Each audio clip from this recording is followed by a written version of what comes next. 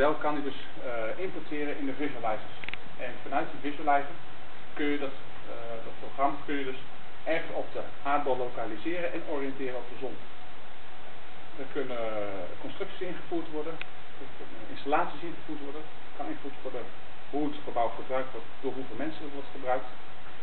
En uh, daglichtanalyse kunnen, kunnen daaruit waardoor je dus eigenlijk als architect dus eigenlijk in je volgende vraag die van belang is in het bouwkundig geschil, dus eigenlijk ook kan gaan analyseren wat gaat er gebeuren met het energiegebruik, benodigd energiegebruik en met het binnenklimaat van het gebouw. En dan praat je over thermisch comfort, dan praat je over daglichtoptreden, dan praat je over ventilatiefout.